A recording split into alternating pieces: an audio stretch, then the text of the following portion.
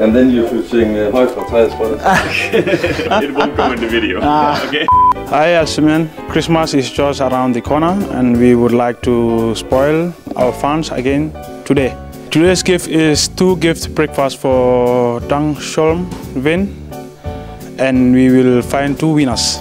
How many stitches did uh, Manus get after his collision during after training match with Fredericia Gavson? Write yeah, your answer in the comment section.